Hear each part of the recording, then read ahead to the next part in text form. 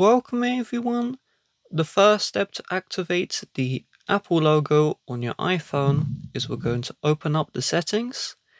And from here we're going to find the search bar. And if we don't see this one just swipe down until you see it. And you're just going to search for back tap. And once we've done this you should see touch or back tap. So I'm just going to tap on this one. And then once we're in the touch menu we're going to find the back tap. And if you can't see this one back tap is only available for iPhones which have a glass back okay?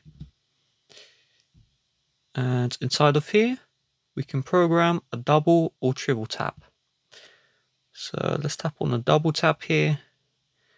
Uh, let's say home. Now when you double tap the Apple logo let's try that again. There we go it's going home. It's not the best if you have a case on. Let's try again. There we go. A little bit better there. It's a little bit laggy. I tap tap. And you can see does take multiple attempts but you know works for the most part. And if at any time you want the Apple logo to stop functioning just select none. With that being said if you'd like to help support the channel please do check the description. Bye bye